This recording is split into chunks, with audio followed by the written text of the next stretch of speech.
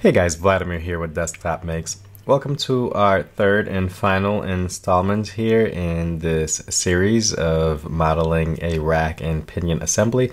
So in the last two videos I showed how we created all the parts you see here, the three different components, uh, creating a spur gear and then using that to create a rack here.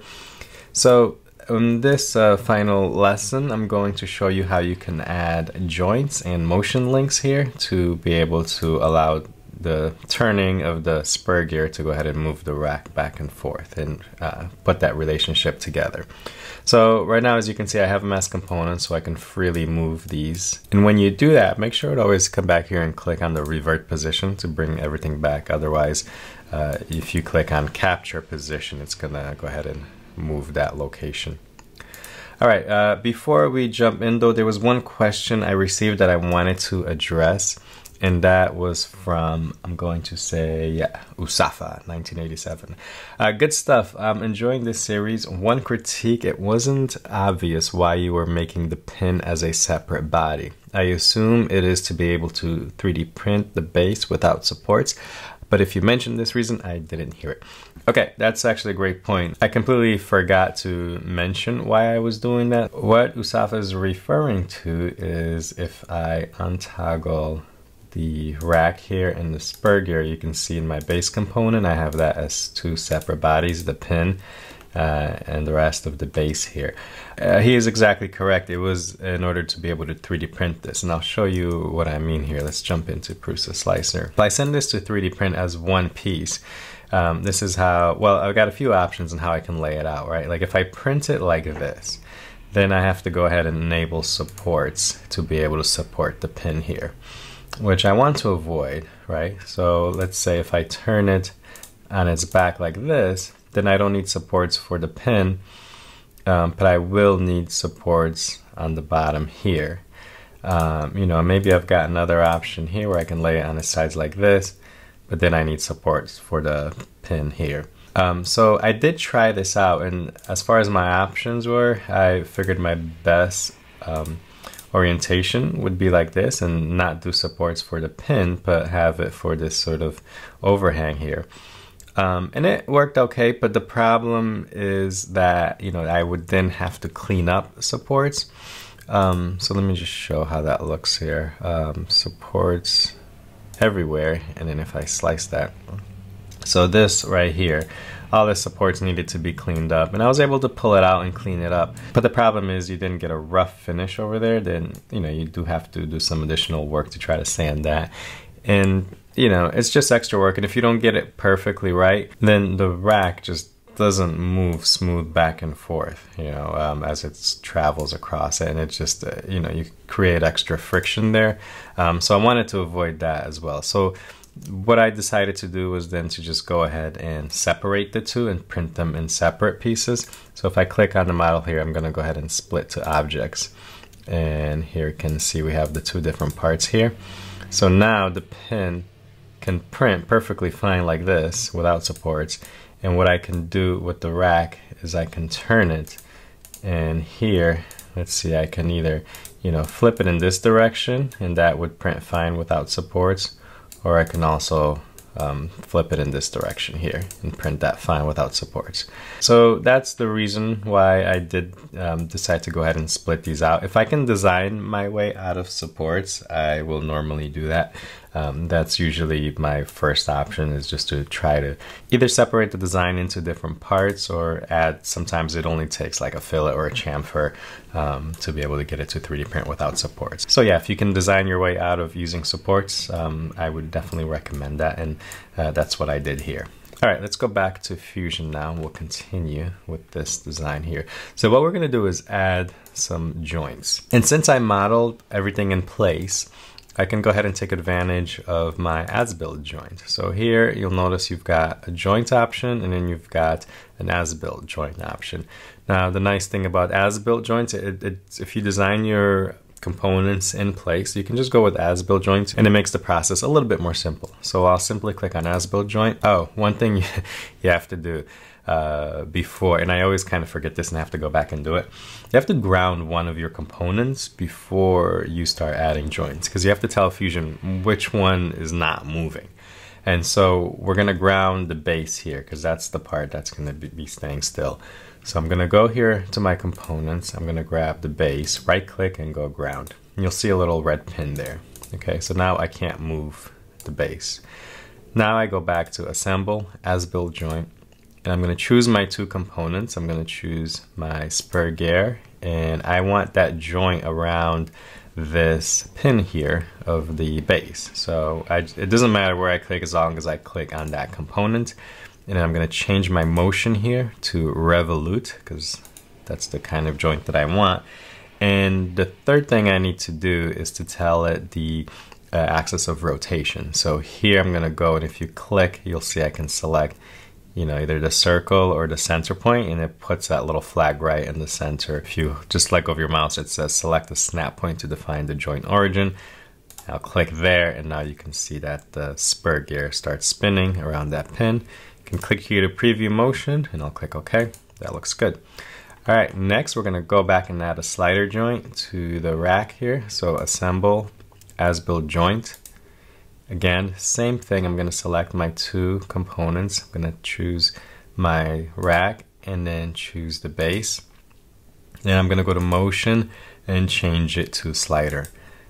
Now with the slider, what you have to do then is tell it the um, where you want it to slide or give it the uh, edge you want it to slide about. So here, if I kind of hover over an edge, you'll see it'll show. I'm going to snap to that middle point and if Again, I let go of the mouse. It says select a snap point to define the joint origin. Um, so I'm going to click right on that edge, right on that point uh, where the arrow kind of shows the direction. And now I've got that motion. So there we have it. We have the rotational and the translational here, the slider. Perfect. But one thing we can see here is we are defying some laws of physics. Uh, so let's go ahead and fix it so that they interact with each other. And to do that, we're going to go back to assemble and we're going to select motion link. Now the motion link, um, so if you just kind of read there, it says defines rotational and translational relationship between joint degrees of freedom. Select the joints, then specify the values. Okay. The important thing to remember with motion link is you set it between joints and not between components. If you try to click on the components, nothing happens. You have to go to your browser here and tell it which joints do you want to set the relationship uh, with. So here we want a relationship between the revolute, the spur gear here, and the slider the rack and you can see it happening there. I'm gonna delete that for a second because it remembered my last value there. But um, usually you see something like this. It's just kind of spinning like crazy. Um, it's kind of hard to see what's happening because it's going so fast. But if you look at this dialog box, you see you have your two different joints, your revolute and your slider. And it's asking you for every 360 degrees here of your revolute, what is the distance that you want your slider to travel? And you can change this uh, angle if you want, but it's, you know, I'll leave it at 360, it makes the math easier. So for every 360 of this spur gear, how far do I want it to travel? Well, if you remember from our last lesson and the last video I did, we kind of figured that out. And that really just becomes the circumference of that pitch diameter circle. You can go back and see the math in my last video, but here we just have to type the formula for circumference. It's gonna be the diameter times pi. Now we determined that our diameter was 48 millimeters, so we just type that in times pi, uh, which we can just write as capital P, capital I, and then just click OK. Now we can see that these perfectly match up. And you can tell if you kind of just zoom in here, you know how if you go to the last gear that that's perfectly lined up you know, and then you kind of go to the other side, you can see that you're still perfectly lined up. You know, if there was any error there, this would start to travel and your gears would start to interfere. So perfect. Um, one thing I do want to show you, let's go back to that motion link here in edit feature. If you ever have it going the opposite way, uh, like let me just click that reverse button where you turn your spur gear one direction and the gear goes the opposite direction. You see here, it's not going in the correct direction, you just click that reverse button. Let's go back here, edit feature, just uh, you either check or uncheck the reverse and that'll fix that. Okay, so that's how we get our joints and our motion links in place. Uh, one last thing I'll do is we can see I can keep turning this and that uh, rack will keep moving. Let's go ahead and set some motion limits. And to do that, let me revert position, and go back to our slider joint here. We're gonna right click and go to edit joint. Let's zoom in here. Um, so what we're to do is go ahead and check minimum and maximum here, and then we can just move these little flags. So I'm to start moving this out.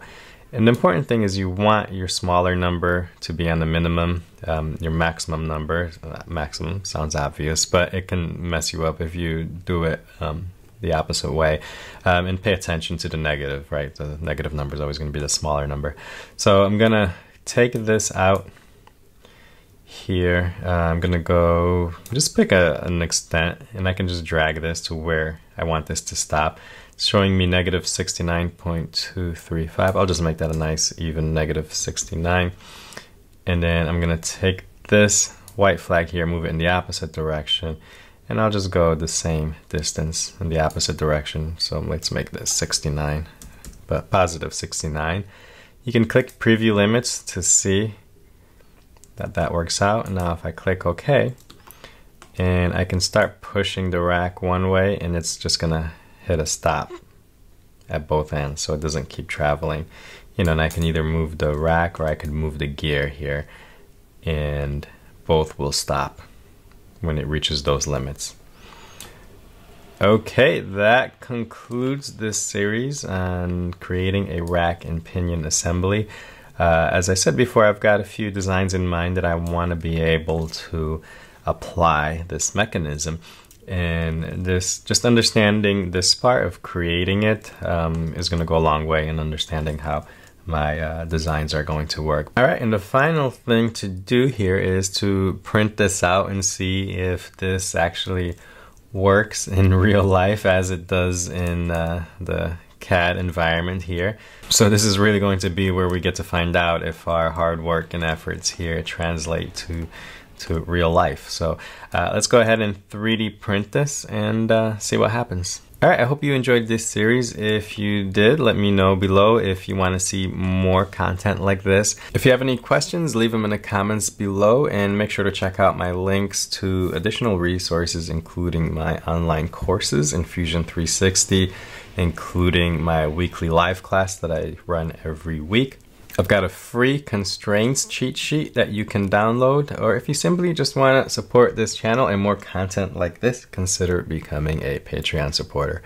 Alright guys, I will see you in the next one.